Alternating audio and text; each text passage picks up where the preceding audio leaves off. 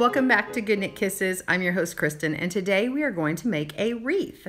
Pick your favorite flowers or foliage and little accents and get your wreath form. Today I'm using a grapevine wreath, but you can use one that you could wrap in fabric or moss or anything like that. I'm also using a ribbon for a bow, so we'll make a bow in this tutorial. This is about 5 yards or 15 feet. And then now I've popped off and taken all my um, main flowers and cut the extra off and even sort of cut off the extra uh, access area and then reinforced a little bit with glue behind it just in case they pop off. And then we cut some extra foliage off of the leaves instead of having all that extra wire sticking out. Now I'm just laying out my wreath and I've got something to protect it behind so when I get my hot glue out it won't ruin my table underneath. This wreath is for my sister, and I had her with me, and I arranged it in the way that she wanted. I put a couple layouts together, and this is what she decided on. So now we're just going to use our glue gun. You can use a hot or low melt. Just watch your fingers if it's too high and add in that extra glue there, have some extra sticks on hand. And really I'm just uh, gluing the back of them. I glued in some main flowers and then the ones that were a little smaller, I kind of nestled them in between. If you need a little bit of reinforcement, you may have to add a dab of glue behind any of them that are a little weak. This particular one gets a little weak behind it, so you could add a little bit of glue in there like that and just stick it in. You want to hold it in until it uh, sets and uh, after everything's dried you want to kind of give a tug on some of your uh, flowers and things just to make sure that it's not going to fall out and just continue gluing everything on your wreath. If you notice I left a space toward the top and that's where my bow is going to um, is going to stay there.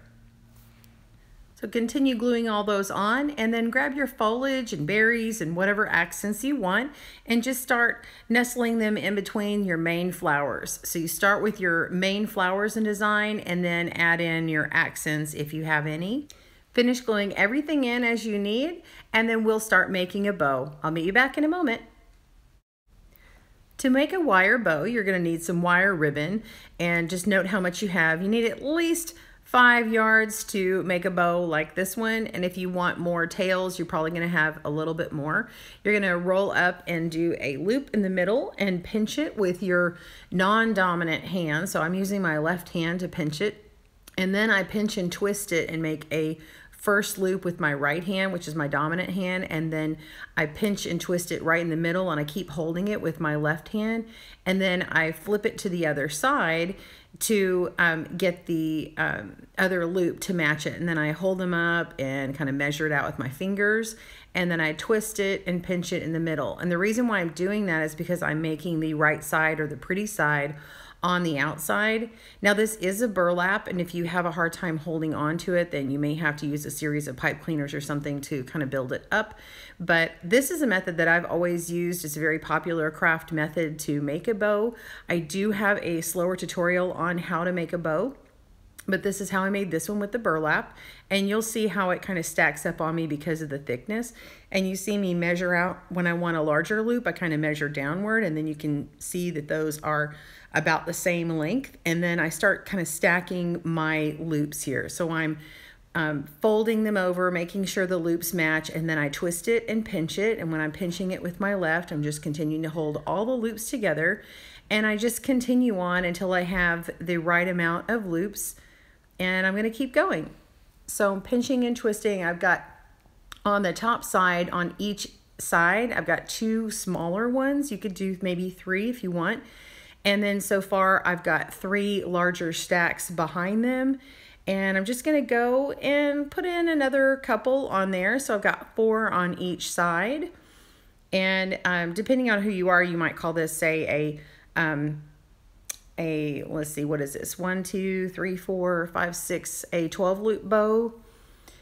That means it's got six on each side.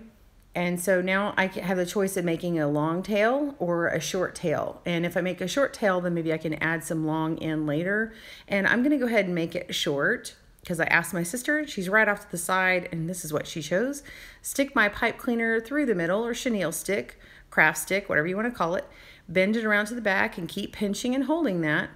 And then you're gonna pinch and hold and twist it as super tight as you can. You can also use other floral wire. I like to use the chenille stick because it's not as hard on my fingers. It's really soft. And then I try and match the ribbon as much as I can, or I try and match the thing that I'm attaching it to, the primary color.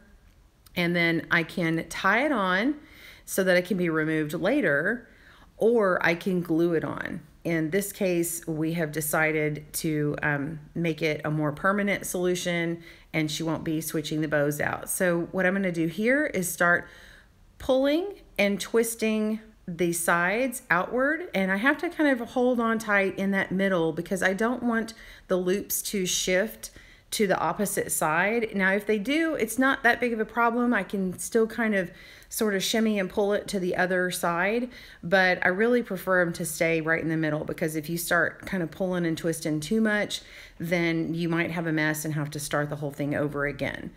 Of course, I've done this many times and so I don't have that issue but um, if you use a ribbon that is really slippy like it's very um, it's a very slippery ribbon then it might have that problem. This one is pretty bulky so it's going to be harder to do. Now in this case i'm actually flattening the bow out. See how it's kind of flattened and sort of modern looking? Um, my sister doesn't like the big round fluffy and so that's what we're doing here. And then i'm actually making this middle loop smaller. I'm kind of pulling it through that ribbon and and the um, the wire to make it very small and then I'm flattening it down because that's the style that she wanted. And so I can just make that change and adjust it. You see how I'm kind of pulling and tweaking it as I go? That's totally okay. It doesn't mean you have to start the whole bow again. And so you can twist and pull that and even cut off the excess if you want. And then I'm to kind of smash and flatten it down and um, make it how she wants it. Okay? So we're just to keep fluffing it out and then I'll meet you back when we put it on.